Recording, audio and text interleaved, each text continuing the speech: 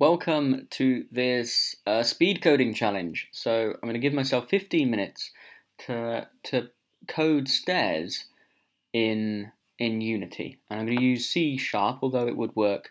A very similar technique would work for JavaScript if you're used to that. And if anyone wants me to do it in JavaScript, um, let me know, and I'll do it in in JavaScript as well.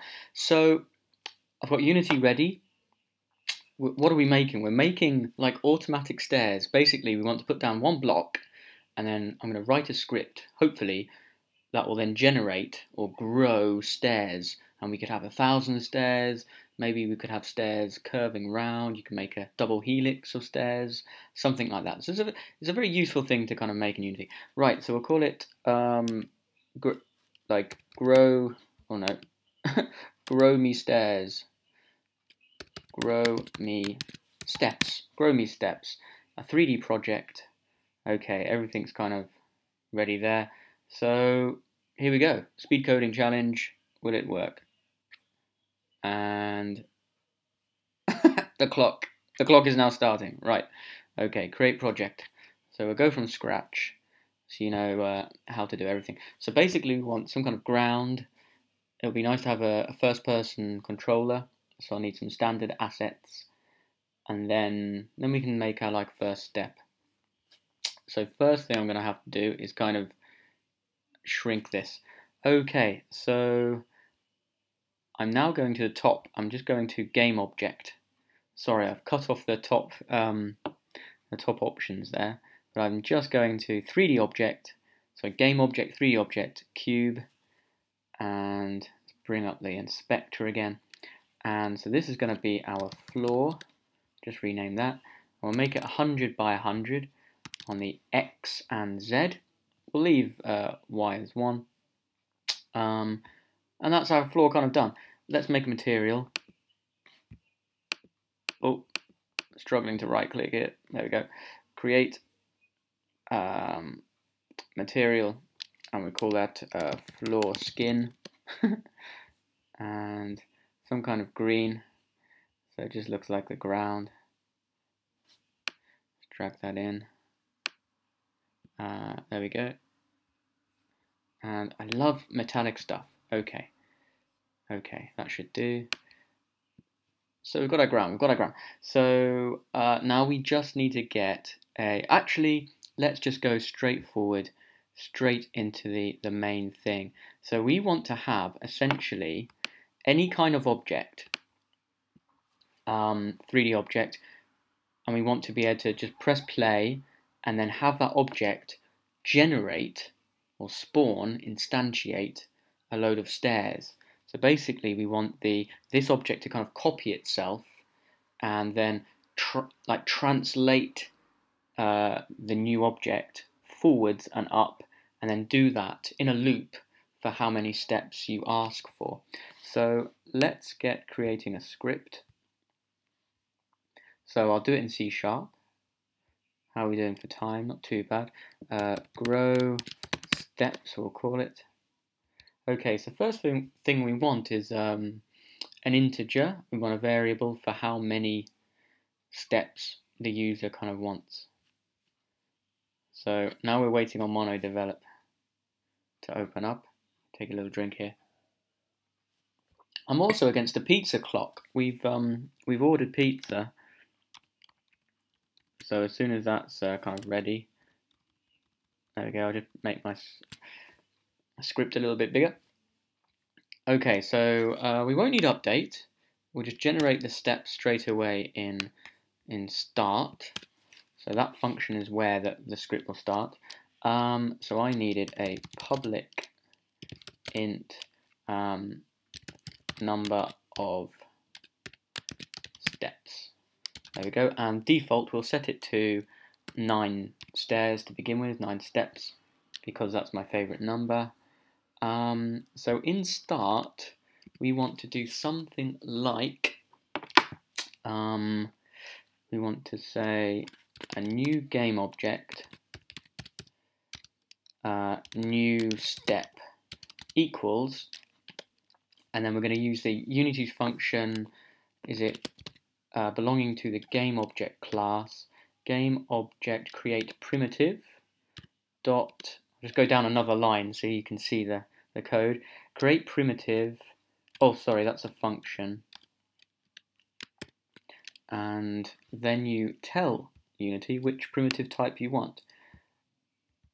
There we go, primitive type and cube. Essentially we want a cube. There we go.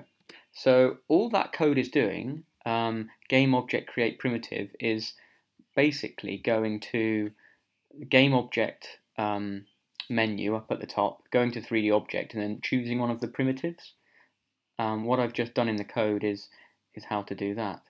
Oh, I've just loaded brackets for random for out of habit. I've now closed down brackets. Okay, we've got 10 minutes, just over 10 minutes on the clock left. Um, I don't want brackets, I want MonoDevelop. So I've created a new game object, um, a new cube, and that's going to be at 0, 0, 0 at the moment, and we want it to be at the location that this, the thing that the script is attached to, that like seed step, we want it to, to match that transform. So what we want to say is new step equals, so remember I've just created this game object uh, variable, new step, so that's where I'm storing the new object that's created. New step, um, transform, um, position equals, and we just want to say this dot transform. Um, sorry about the lag, it's because I'm recording the screen, I think. Transform dot position. There we go. So we've we've got we've got this we've we've kind of clones a position. Now what do we want to do? We want to translate the step forward by the kind of the length of the the length of our like seed object itself.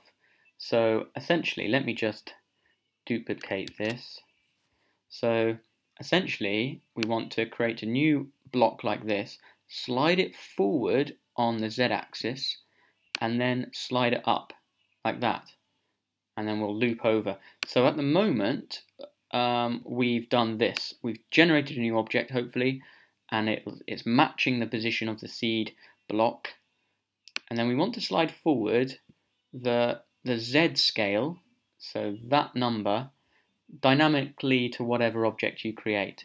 So later on, if we do something like this, we might make it a bit more step-shaped, probably 0.3, something like that we want this object to kind of match its scale. So let's do that now. Back to MonoDevelop. Time is running down. Okay, so new step, transform. Um, now I won't be able to just ask for scale. Um, I believe we can only you can only change the local scale. The lossy scale or global scale is immutable you can only refer to it. There we go. Local scale equals, again, this dot transform, um, and we'll say lossy scale here. There we go. Okay, so it, now the new object has matched the, the dimensions of the, the seed object. So now we want to slide it forward. So we do that with uh, translate. You said transform, translate, and we want to go forwards. So just vector3 dot forward, excellent, times, um, so the seed object's scale in the z position. So uh, this dot transform, you know what, I'll have another line so everything's nice and neat. This dot transform uh, local scale, is it? Oh, I can refer to the global scale now. I'm not manipulating that. And Z. Brilliant.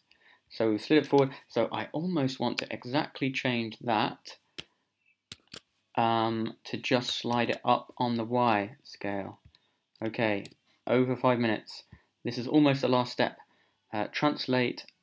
So not on the Z axis. We now want to slide the step up. There we go. Let's just check and see if this is working. Okay, I've just asked MonoDevelop to save that script. We haven't attached the script yet. Can I just drag that on to our object there? Let's just have a look.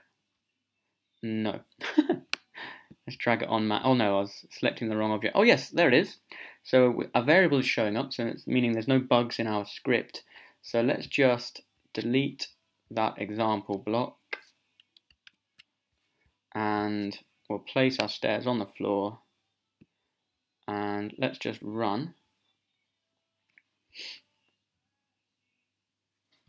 Okay, brilliant. I don't know if you can see that, but we've got two stairs and we only had two steps and we only had one. So it's generating that one step. Okay, at the moment that that number 9 doesn't do anything. It would be really cool as well just to maybe place it in front of the camera here, I think. Let's just see again. So that if we generate more we can we've got a good view of them. Yes. So if it kind of works, we'll be able to see it now. Okay, just over 5 minutes. Um, doing well, I think. so we basically just need to put these steps inside of a loop. So, oh, and then we've just got to adjust how each new step is being translated. Okay, so for int uh, i equals 0, so start at 0. Be better to start at 1. Oh, no. So um, i is less than number of steps. So we'll go around the loop that number of steps. i plus plus. We just want to increment by 1 each time and then close our brackets down here. Lovely. So we just want to translate, so each step by i, really.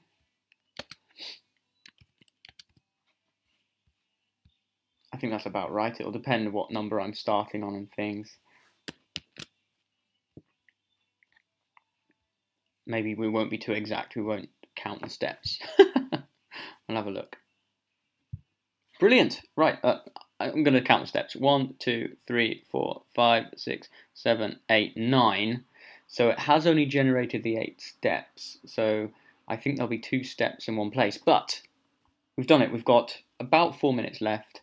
And that's how to generate steps um, using code. Um, it would be really nice to to now um, see if we can rotate them. So I'm gonna I'm gonna count this as as done. So let's actually this will be satisfying. Pause. Pause. We've done it. I'm tempted to kind of stop the video here and not mess around, but it would be nice to kind of rotate them. So let's have a look. So that's position, that's scale. So here, before we translate, we could new step, rotate, oh sorry, transform, rotate, and then we want to rotate around the y-axis, so that's stored as up, times, we want to say something like i times a rotation amount. We'll try 10 for now.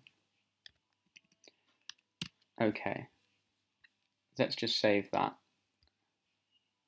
What would be good is having a boolean to um, set whether you want your stairs straight, so that might be false. So you might have ah, a spiral kind of a spiral kind of um, boolean. There we go. Oh, I'm really pleased with that. So we've got a spiral staircase working and we can generate as many steps as we as we like. Let's go for 99. That'll be really nice. So there we go. Ah, so we've got a problem there. So we'd have to be a bit more sophisticated in terms of how we we actually rotate things. We want to be translating them in a bit more of a sophisticated way. Okay, so we've got the gist there. Um, I hope that was useful, how to create instantiate objects. Um, I think I'm allowed to class this as a pass. there we go. Successful uh, speed code challenge. Thank you very much.